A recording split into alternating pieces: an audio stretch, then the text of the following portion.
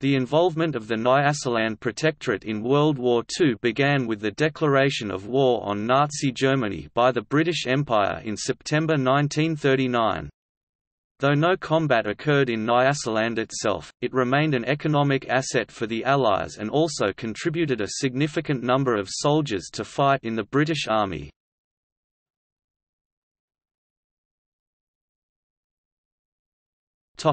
Background The Nyasaland Protectorate, a successor to the British Central Africa Protectorate, was formed in 1907.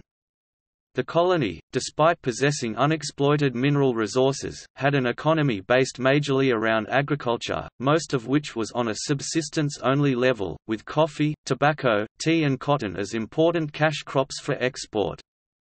Famines were common among the indigenous Africans, and there was ample tension between the «natives» who unlike Europeans of British origin did not hold British citizenship, instead possessing the lesser status of British protected person, and the European settlers. Nyasaland became heavily involved in the First World War. Some 19,000 Nyasaland Africans served in the King's African Rifles, and up to 200,000 others were forced to be porters for varying periods, mostly in the East African Campaign against the Germans in German East Africa, where disease caused many casualties among them. This, together with other sources of conflict, resulted in the failed Chilembwe Uprising in January 1915, led by the pastor John Chilembwe.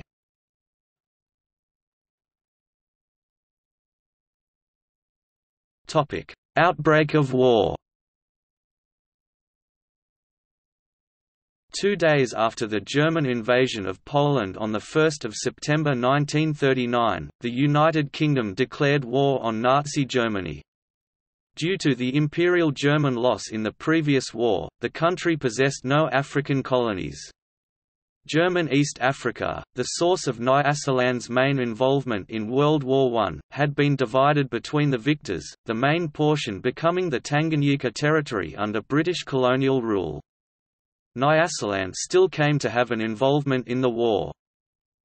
Already on 4 September 1939, the acting governor in Zomba requested immediate aid, fearful that the German settlers may organize a pro-Nazi uprising. The European expatriate community in Nyasaland was always small, numbering only 1,948 in 1945 as compared to over 2 million native Africans, a significant number of which were German in origin. In response 50 soldiers from the Territorial Army arrived in Nyasaland by air, the first Southern Rhodesian troops to be sent abroad during the war. They were under the command of Captain T. G. Standing. They returned to Salisbury after only a month, having found there to be no risk of a possible rebellion. As in many other British colonies in Africa, a number of camps were constructed in Nyasaland intended to house Polish war refugees. Additionally, perceived enemy aliens primarily members of the aforementioned German community, but also Italian settlers, were brought to southern Rhodesia for internment during the war.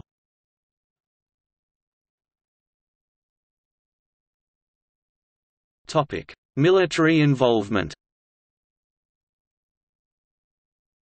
Many Nyasas came to fight for the British during the war, primarily as, just like during World War I, soldiers of the King's African Rifles The Nyasas were not conscripted outright, instead, the colonial authorities threatened the local aristocracy with a reduction in privileges if they failed to provide sufficient numbers of men. As a result, many recruits either deserted or were rejected on medical grounds. Nonetheless, by August 1942 a total of 16,400 Nyasas were serving in the KAR, as compared to roughly 2,000 at the war's start. Out of a total 43 KAR battalions, 12 hailed from Nyasaland. Others were recruited into the artillery, engineers, service corps and medical corps, placing the total number of enlisted Nyasas at around 27,000. They would go on to fight in a number of theaters, first of all the East African Campaign, where Nyasas fought Italian troops. Initially expected to disappoint in combat, the success of the 1st Battalion KAR in defending the Kenyan town of Moyale, where a hundred soldiers from Nyasaland held out against 3,000 Italians, rapidly changed the British opinion. In 1940 the 2nd Nyasaland Battalion participated in the failed defence of British Somaliland against an Italian invasion. The following year Nyasa troops participated in routing the Italian forces from Somaliland and Ethiopia.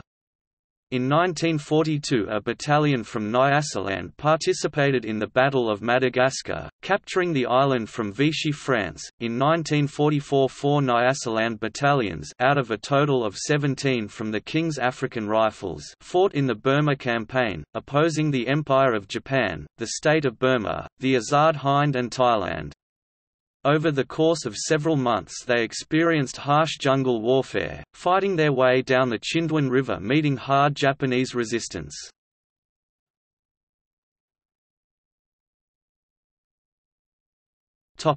Aftermath After World War II, thousands of recently demobilized soldiers returned to Nyasaland in 1945 and 1946. These troops had lived in as many as a dozen different countries over the last few years, fighting alongside many people of different religion, ethnicity and culture, and been exposed to a wide array of new ideas and experiences. The colonial authorities were reportedly unsettled by this, viewing the demobilized soldiers as a threat, fearing them due to their advanced military training and their possible openness to radicalism, such as socialist and anti-colonial thought. Many of them did indeed participate in such activities, with many ex-soldiers participating in the conferences held by the nascent Nyasaland African Congress. Economically, Nyasaland benefited from the end of the war. New expertise arrived in the form of the returning soldiers. Around 3,000 Askaris had been trained as lorry drivers in the army, and many of them joined civilian transport companies. With the wartime blockades and trade disruptions ceasing, import and export could again flow, and the tea and tobacco industry recuperated from its losses.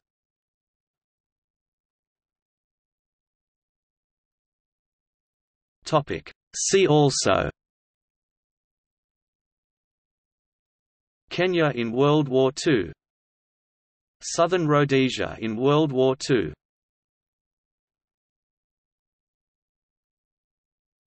Topic: Citations.